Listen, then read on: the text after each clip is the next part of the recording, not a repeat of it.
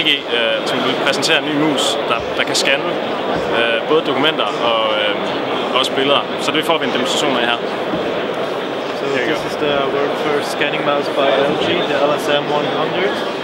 Um, as you can see, there is um, a webcam capturing a video stream through um, LED lighting and uh, mirror. And um, special algorithms um, capture and stitch them together 60 images per second. Result of this software looks like that.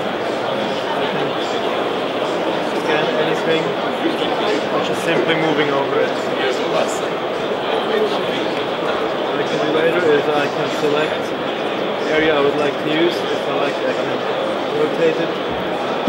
Usually I would be working with a um, software like Excel. You can just plug it in and change the values. Now if I remove auto extract, I can just go here, say, take the text, go back to work, and just plug it in.